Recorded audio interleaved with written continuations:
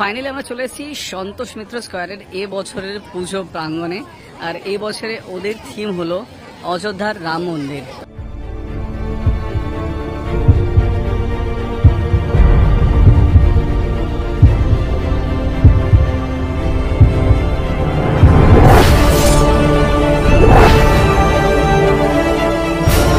তো ফাইনালি আমরা চলে এসেছি সন্তোষ মিত্র স্কোয়ারের এ বছরের পুজো প্রাঙ্গণে। আর এই বছরে ওদের থিম হলো অযোধ্যার রাম মন্দির। এখন বাজে হলো এগারোটা ছাপ্পান্ন আর কিছুক্ষণ পরেই তৃতীয়া পড়ে যাবে। আর এই তৃতীয়ার হওয়ার পাঁচ মিনিট আগে আমি চলে এসেছি এখন সন্তোষ মিত্র স্কোয়ার সন্তোষ মিত্র স্কোয়ারে কিন্তু বেশ ভালো ভিড় আছে। এখানে রামের একটা বিশাল বড় তোমার লাইটিং করা হয়েছে। আর এদিকে যদি দেখি, এখানে কিন্তু হনুমানজিও বিরাজিত আছে। বেশ সুন্দর লাগছে কিন্তু দেখতে, আর যথেষ্ট গ্র্যান্ড লাগছে। আর এত রাতেও তুমি দেখতে পাচ্ছ এখানে কি পরিমাণ ভিড় আছে। জাস্ট দেখো একবার। লাইটিং যদি দেখি লাইটিংগুলো কিন্তু খুব সুন্দর করে যায়। এখানে ওম ওম, এই জিনিসগুলো আছে ফ্ল্যাগের মধ্যে। সন্তোষ মিত্র স্কোয়ারের এ বছরের প্রতিবেদন অযোধ্যার রাম মন্দির। সামনে থেকে কিন্তু দেখতে অপরূপ সুন্দর লাগছে স্পেশালি লাইটিংগুলো করেছে, তার জন্য আরও ভালো লাগছে। আমি যদি আরেকটু কাছে যাই, ভিতরের কাজের ডিটেলসগুলো দেখবে, তার সাথে সাথে ঝাড়গুলো লাগিয়েছে, তার জন্য কিন্তু দেখতে অপরূপ সুন্দর লাগছে।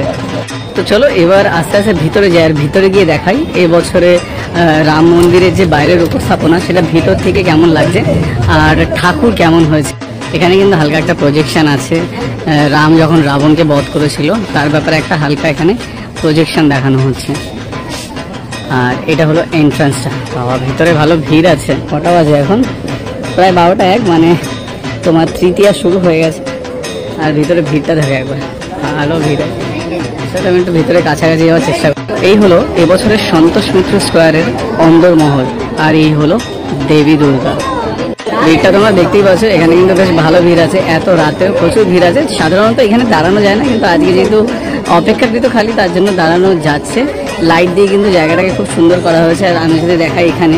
এখানে কিন্তু এই জিনিসগুলো খুব সুন্দর করে ডিজাইন করা হয়েছে। তার সাথে যে আলোটা দেওয়া হয়েছে আমার মনে হয় তার জন্য এই জায়গাটা আরও এত সুন্দর করে ফুটছে। সন্তোষ স্কোয়ারের ঠাকুর কিন্তু যথেষ্ট সুন্দর হয়। আহ, সাবেকিয়ানাও বলতে পারো বা একদম যে ট্রেডিশনাল ঠাকুর হয় সেই টাইপের কিন্তু ঠাকুর হয়। আর মায়ের মুখটা কিন্তু অপরূপ অনবদ্য খুবই খুবই খুবই সুন্দর লাগছে। আমি তোমাকে একদম নিচ থেকে রূপটা দেখাচ্ছি মায়ের এই দেখ।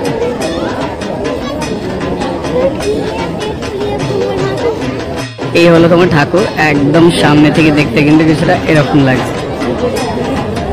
খুব সুন্দর করে ঠাকুর কিন্তু বরাবরই খুব সুন্দর করে, আর তুমি যদি সবার মুখটা দেখো, সবার মুখগুলো খুব সুন্দর করে বসে